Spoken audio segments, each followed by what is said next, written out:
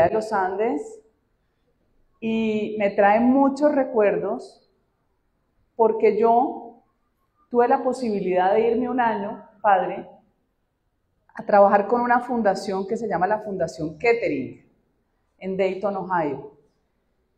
Mi jefe, el jefe gringo, el gran jefe, había sido premiado como el mejor gobernador del estado de Alabama y había sido ministro de Salud y Bienestar del presidente Gerald Ford. Usted recordará, para los que conocen un poquito de historia, que vale la pena, la historia es fundamental en la vida de las personas y ahora pues o se desconoce o no la cambian. Cuando viene la elección de Nixon contra Kennedy, ustedes se acordarán de un proceso que se llamó el Watergate, que era que estaban chuzando de la campaña de Nixon a la campaña de Kennedy, eso se armó un escándalo y le tocó renunciar al presidente Nixon y entró en reemplazo el presidente Gerald Ford, que eran republicanos, contra Kennedy, que finalmente gana ya cuando es la disputa presidencial, gana Kennedy. Este señor tuvo el privilegio de haber sido secretario de Salud y Bienestar de, de Ford y yo a su vez el privilegio de poder trabajar con un hombre tan importante en cosas que suceden en sociedades de las que tenemos mucho que aprender y otras cosas no hacerlo, porque son los ejemplos de la vida. El automóvil, ustedes recordarán esos carros que se prendían dándole manivela. El automóvil, el T, el modelo T, que se lo inventa Ford. O sea, ¿cómo pasamos de lo que era el carruaje o la bicicleta al automóvil con el modelo T, que se tenía que prender a manivela? Pues un señor apellido Kettering que se inventó el switch. En inglés se dice el self-start. La llave que usted mete inmediatamente genera la combustión. Solo ese paso de la manivela a la llave para la combustión, transformó la industria automotriz del mundo. Y eso fue un señor de apellido Kettering que dejó una fortuna inmensa, años 20, 30, casi 200 millones de dólares, y decidió dejarla solamente para personas que reflexionaran sobre una sociedad mejor. No hizo nada de invento científico ni tecnológico, sino filantropía pura. En ese momento estuve un año y empezamos a trabajar en unos colegios enormes distritales en Bogotá. Seis colegios se escogieron. Los colegios que más se destacaban, y usted los debió conocer porque eran comunidad religiosa, era el Colegio San Pablo Apóstol. ¿Se acuerdan? Ese colegio fue innovador y fue de los primeros colegios que enseñó toda la educación práctica para que el estudiante no saliera solamente con habilidades académicas, sino de trabajo, que es lo que ustedes hacen. ¿Usted se acuerda que eso fue una corriente de pensamiento y educación que creó los INEM? Y los INEM funcionaron. Yo no sé por qué se acabaron. Bueno, es que aquí llega cada genio y cambia todo. Los INEM eran la experiencia primaria antes y debió ser por la época, porque ustedes tienen muchos años, de lo que era darle herramientas al estudiante para que saliera con capacidad de generarse su empleo o una carrera técnica o tecnológica, si quería escoger algo que fuera distinto a lo profesional. Entonces, estar aquí, padre, me trae recuerdos muy gratos porque mi primer trabajo con comunidades lo hice en los seis colegios muy grandes del distrito y estaba el San Pablo Apóstol, que no era del distrito, pero que les competía por excelencia y calidad académica. Lo felicito porque usted es muy joven.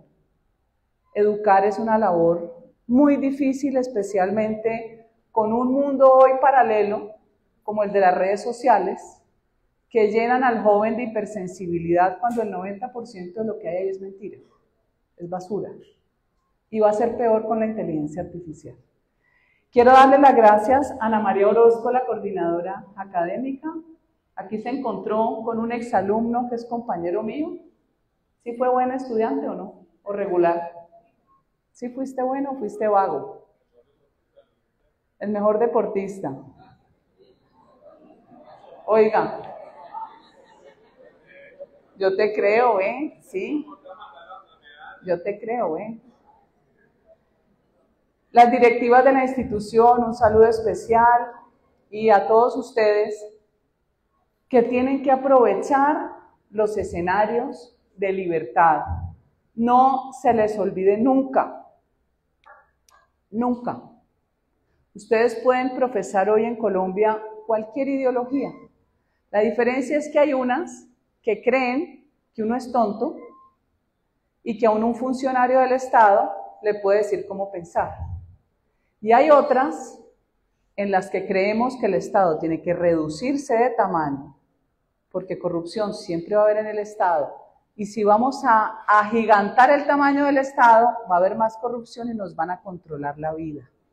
Yo no quiero que me controlen la vida. Yo quiero tomar decisiones. Pero cualquier decisión tiene que ser sobre un marco de leyes. En anarquía no hay sociedad, hay destrucción. El orden viene de arriba, como es arriba es abajo. El orden, la disciplina y la voluntad, que es la fuerza moral, es la que nos garantiza el éxito a pesar de la adversidad. La libertad no es un regalo, es una conquista diaria. Requiere valentía, compromiso y un sentido claro de responsabilidad. Como jóvenes tienen el poder de moldear el futuro. Pueden ser los líderes de nuestra nación, los que necesitamos, aquellos que además defenderán los principios de libertad y progreso para todos. Sean optimistas en un mundo donde el pesimismo vende, donde las malas noticias dominan. Es importante que mantengan una visión constructiva la historia ha demostrado una y otra vez que la humanidad progresa cuando se levanta para enfrentar desafíos con fe y determinación. La fe es la certeza de lo que no se ve. La esperanza tiene duda, la fe no duda. Las reformas del gobierno se están llevando a cabo bajo una falsa premisa de que todo está mal. Cuando le venden que todo está mal, todo. Si bien es cierto que existen fallas y áreas que necesitan mejoras, no podemos aceptar la narrativa que nuestra sociedad está completamente rota. Este enfoque exagerado ignora los muchos logros y avances que hemos conseguido a lo largo de los años. Reformar para corregir y para mejorar es necesario, pero debe hacerse como un reconocimiento equilibrado de nuestras fortalezas y debilidades como Estado y sociedad y no bajo una visión catastrófica que solo busca justificar cambios radicales, innecesarios e imprudentes. Hay que trabajar para lograr una mejor Colombia, una Colombia próspera, fuerte y unida, pero sin perder de vista los aspectos positivos y los logros que también forman parte de nuestra realidad. Hoy el médico lo han convertido en curandero, el científico homologado en yerbatero, el congresista, como yo, puede ser un bloguero. El influencer se volvió maestro. El TikToker se volvió el dios de la verdad. Y cualquiera puede ser elegido el presidente de este país o de cualquier país, al paso que vamos. Estamos en la era de la mediocridad. El conocimiento, la experiencia, el mérito, el esfuerzo, los pilares del progreso han sido removidos como si fueran una ofensa. No es que el mérito se desprecie, es que nunca, nunca se, había vuelto la ignorancia tan popular, tan fácil de vender. Las redes sociales que se suponían serían avance de la humanidad hoy tienden a ser un retroceso. Nunca la minoría había hecho de la mediocridad y de la falta de esfuerzo una consigna moral. Las pocas ganas que hay de estudiar, esforzarse y mejorar diariamente se contrastan con las muchas que hay de ver y realizar un baile de TikTok. Hoy los nativos digitales son los primeros niños con un coeficiente intelectual más bajo que el de sus padres. ¿Para dónde vamos como sociedad? Debemos expresar lo que pensamos de manera abierta, debatir nuestros desacuerdos con honestidad y siempre buscar la solidaridad. No caigan Ustedes que son jóvenes en la trampa de promesas imposibles de cumplir y que al final van a terminar limitando su libertad. El populismo promete a las personas el cielo y la tierra cuando se sabe que es imposible lograr. Es hacer promesas irrealizables con el fin de ganar apoyo sin importar las consecuencias ni la verdad. Nuestra policía, nuestro ejército, nuestros increíbles veteranos son héroes que merecen nuestro apoyo total e inquebrantable. Son hombres y mujeres que dedican sus vidas a protegernos, a salvaguardar nuestra integridad, nuestra seguridad y mantener la paz en nuestro país. Su valentía y sacrificio son la columna vertebral de nuestra nación y es nuestro deber cívico como colombianos honrar y apoyar su labor incansable. Quiero hacer un último llamado y es no dejarse llevar por emociones momentáneas. Es fundamental que ustedes hagan conciencia de la realidad del aquí y el ahora. La mente es engañosa. La mente vive dibujándole a una cantidad de expectativas y las redes ayudan a desviar la atención del aquí y el ahora. Y llenan al individuo de una cantidad de necesidades que no tienen, de expectativas innecesarias y de emociones que terminan generando conflicto.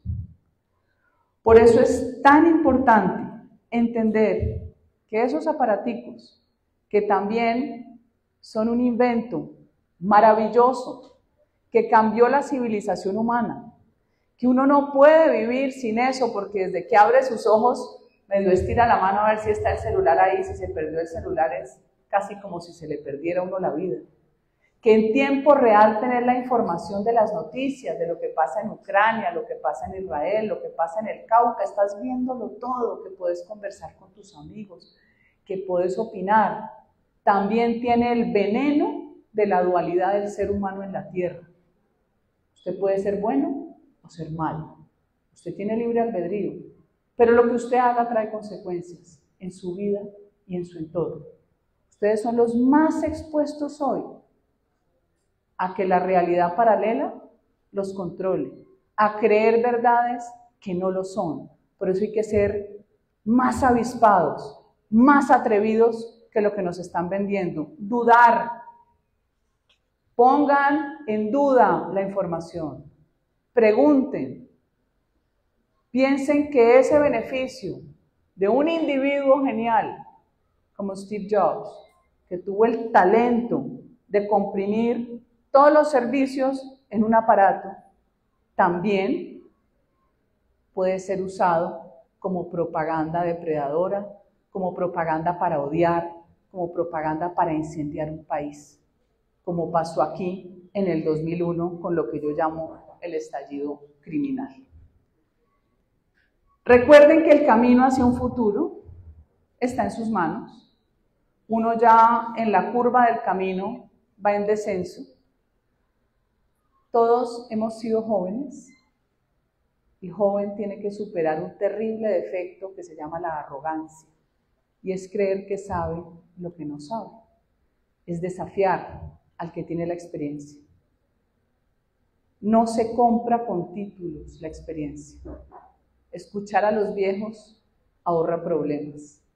Y al final de cuentas, uno trasiega en la vida.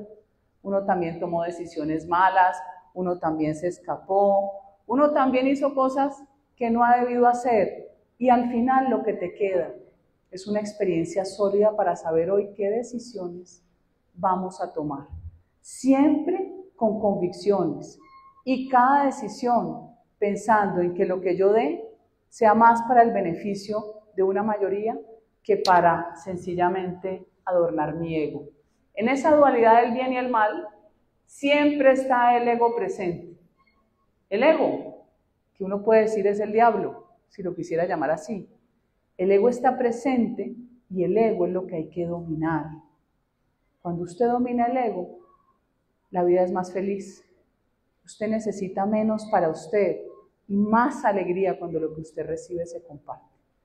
Entonces, Padre, le dejo a los alumnos a que pregunten lo que quieran preguntar con respeto. Yo soy abierta a las preguntas, así sean controversiales. Piensen que estos espacios hay países que no los tienen, que ya los perdieron y que es importante que ustedes que van a crecer para compartir espacios o haciendo empresa, trabajando en lo que ustedes quieran o participando en política que no hay que satanizarla, porque hay que verla como una misión de servicio, no para enriquecerse, sino para servir a los demás. Ustedes pueden ser los concejales, los alcaldes del futuro. Piensen en país. Gracias. ¿Cómo lo manejamos?